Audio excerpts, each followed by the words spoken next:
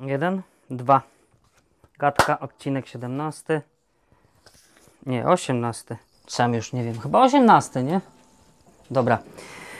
Szanowni Państwo, yy, chciałem się do czegoś przyznać.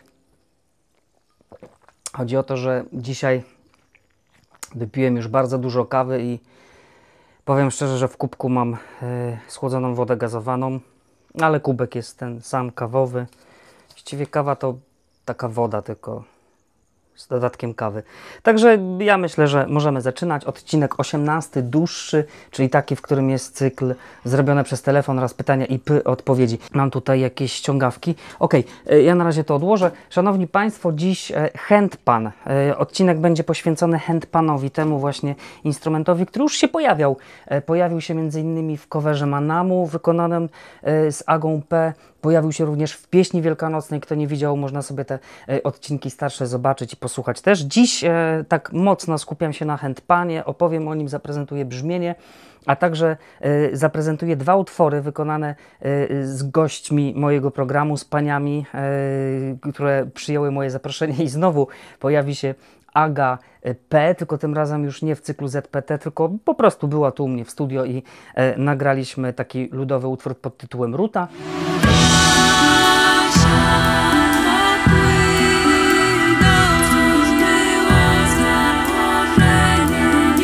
A w cyklu ZPT pojawi się dziś Marzena Lam-Chłoniewska. Szmary się Jasiowi ku ich wiecznemu ślubowi.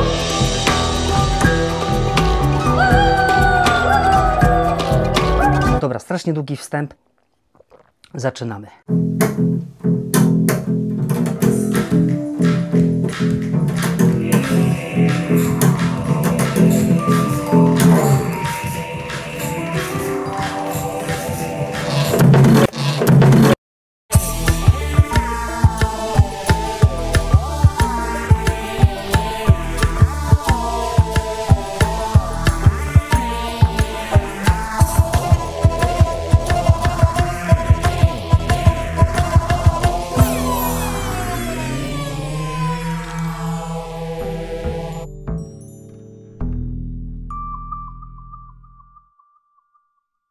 Handpan to takie dwie misy połączone ze sobą. E, Ta dolna misa po prostu tylko wygięta z otworem rezonansowym, a górna to y, serce brzmienia tego instrumentu, czyli właśnie te wgniecenia, uwypuklenia, e, miejsca, w które uderzamy, aby wydobywać dźwięk. Jest to instrument perkusyjny z grupy idiofonów, to znaczy, że cały jego korpus e, gra, ale właśnie jest to instrument perkusyjny, a jednocześnie melodyczny, pięknie brzmiący mój egzemplarz w tonacji e-moll.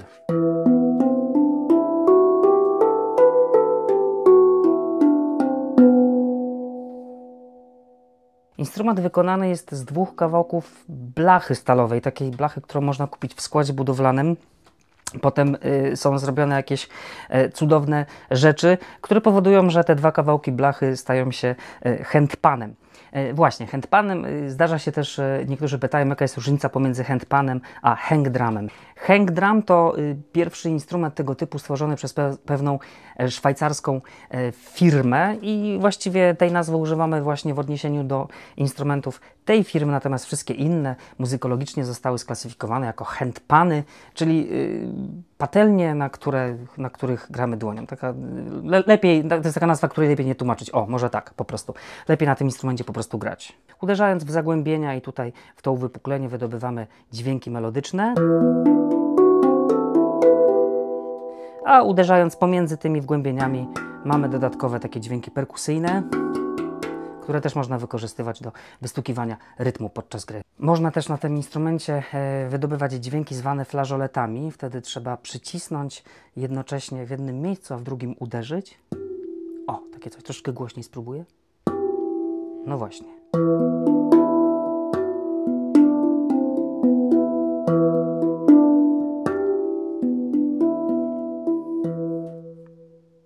I tak dalej, i tak dalej. Zbierając wszystkie te e, dźwięki e, do kupy, gra się właśnie i melodie, i rytmy jednocześnie. To jest instrument, którego wiadomo, że brzmienie jest bardzo kojące, bardzo uspokajające i e, trochę tak jak w przypadku Tank Drama, o którym opowiadałem dwa odcinki wcześniej. Też no, jak dostałem handpana w swoje ręce, no to oczywiście siedziałem godzinę albo dłużej i uderzałem te dźwięki i nasycałem się tym pięknym brzmieniem.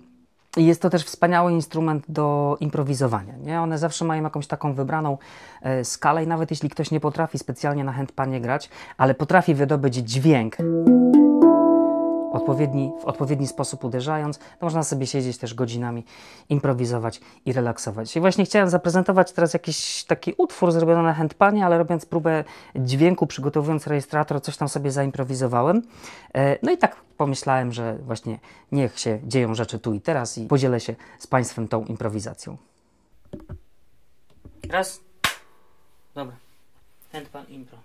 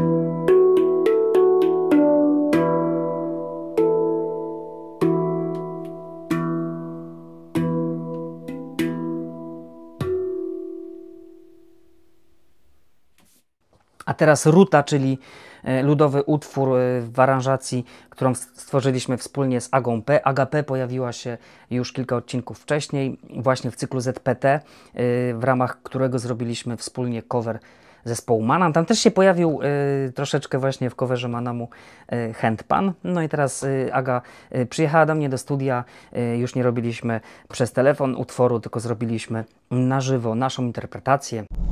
Chodzi o to, że właśnie tuż po skończeniu nagrania e, tej piosenki mieliśmy zrobić taką krótką rozmowę w studio u mnie w pracowni, żeby wprowadzić ten utwór, ale kompletnie zapomnieliśmy. Właśnie wyszliśmy, szanowni państwo, po nagraniu, ja Agnieszkę odwożę do domu.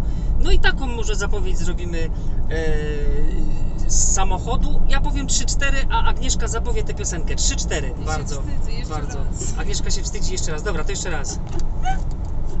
Dobrze, proszę Państwa, witamy w aucie u, u, Tomasza, y, ponieważ zapowiedź lub wstęp ogólny do tej pieśni, którą przygotowaliśmy dla Państwa, no y, po prostu mieliśmy nagrać w studiu, nie zrobiliśmy tego, zapomnieliśmy, więc zapraszamy Państwa do wysłuchania i no nie wiem, tej pieśni pod tytułem Ruta, której y, autorem, nie wiem, jest pewnie jakaś Taka ludowa pieśń. No, jakaś jak- dziewczyna jakiś, lub chłopiec. jakiś lud. Jest. Jakiś lud, na pewno. No, której wersję żeśmy dzisiaj nagrali w kilka godzin, czegoś się po prostu nie spodziewali, że to Bardzo tak, szybko, tak, tak. sobie samo popłynie. Zapraszam do wysłuchania.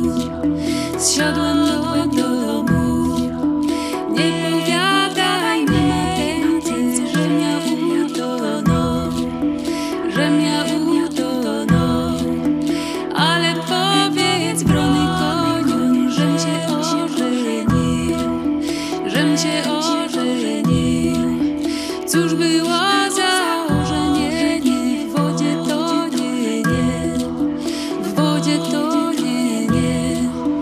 Cóż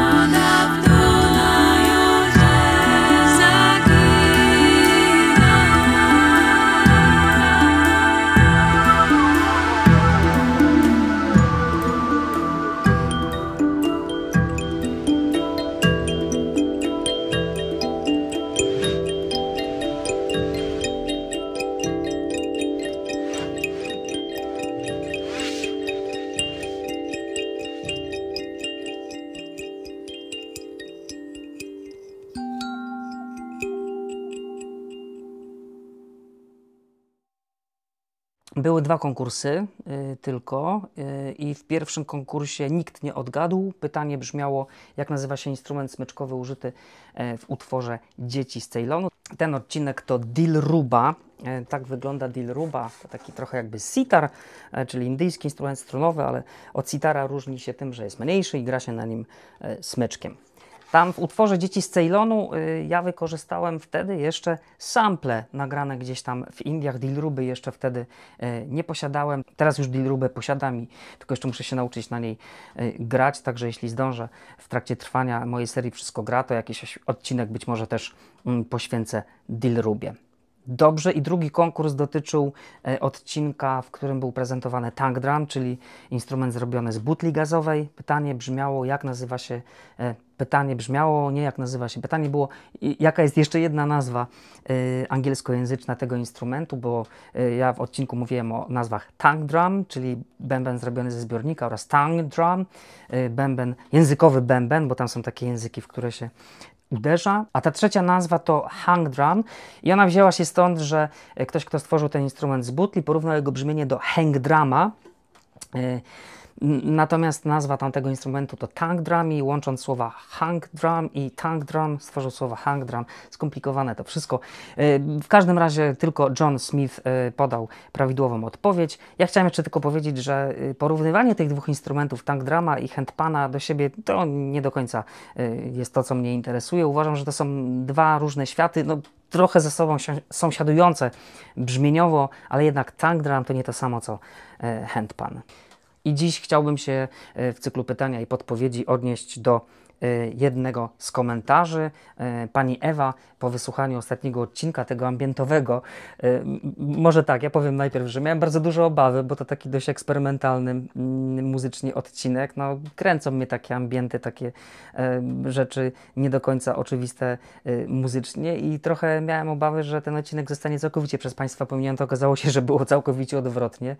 Sporo osób na niego zareagowało i właśnie Pani Ewa napisała po tym odcinku tak. Dziękuję, wysłuchałam, jak zawsze ciekawie zachęcające do obserwacji, kombinacji i podziwu tego, co dzieje się tu i teraz. No właśnie, bardzo mi się dlatego spodobała ta odpowiedź, bo ja bardzo e, cenię to, co jest tu i teraz. Mam zaległości w odcinkach i wreszcie czas do odsłuchania innych odcinków i już się na nie, na nie cieszę. No ja właśnie chciałbym Państwu e, polecić postawę Pani Ewy, ponieważ e, mam świadomość, że te moje odcinki wrzucane na timeline znikają, natomiast ja je tworzę nie po to, żeby znikały, tylko po to, żeby one tworzyły pewną spójną serię. Jak zwykle zachęcam Państwa do tego, jeśli ktoś się natknął teraz na odcinek 18, to zapraszam, żeby zajrzeć do poprzednich odcinków e, i jakoś sobie tam w wolnym czasie je oglądać, komentować i tak dalej, i tak dalej, i tak dalej. No i ZPT dziś z udziałem Marzeny Lam-Chłoniewskiej. E, Skąd się znamy z Marzeną? Kiedyś zaprosiłem je do swojego zespołu Kalokagatos, który prowadziła.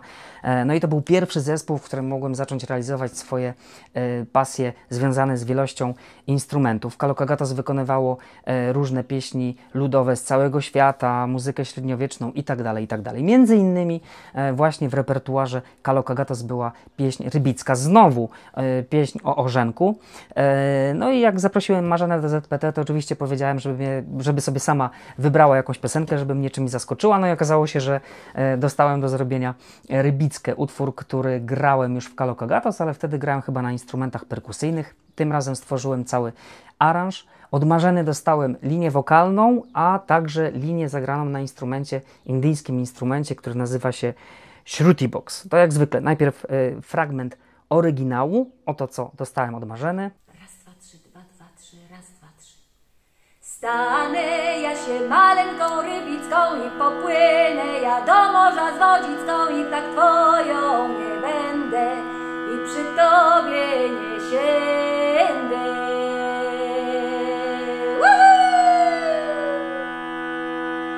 A mam ci ja takie siateczki i wyłowię ja te małe rybeczki i tak musisz moją być, bo się nie masz kiedy stryć. A teraz już zapraszam do wysłuchania pełnej wersji utworu zrobionego w ramach cyklu ZPT. Utwór pod tytułem Rybicka. Jakiś samochód jedzie. To nie do mnie.